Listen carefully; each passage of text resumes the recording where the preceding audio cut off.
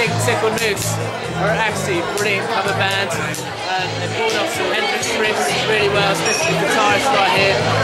Loving the drummer, it's absolutely spot on. And they're loving the bassist over here as well.